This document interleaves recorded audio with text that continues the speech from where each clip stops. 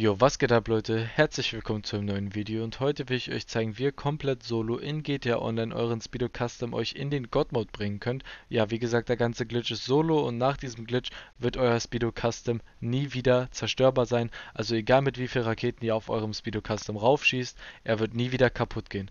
Diesen ganzen Glitch könnt ihr natürlich ausnutzen, aber bitte nicht um andere Spieler damit abzufacken. Und jetzt würde ich sagen, fangen wir direkt an mit diesem Glitch.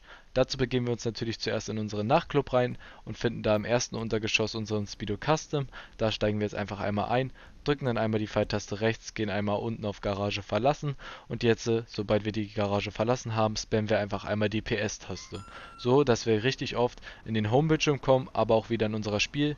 Und wenn wir dann in unserem Spiel wieder angekommen sind, überprüfen wir einfach einmal mit den Up-and-Down-Atomizer. Also damit schießen wir einfach einmal auf unserem Speedo Custom. Und wenn unser Speedo Custom sich nicht bewegt, aber wir trotzdem noch damit fahren können, sollte unser Speedo Custom dann erfolgreich im God Mode sein.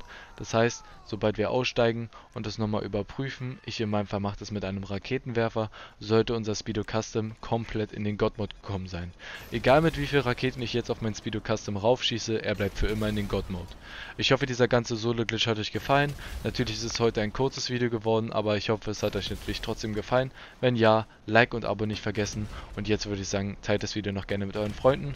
Schaut es bis zum Ende. Haut rein. Ciao.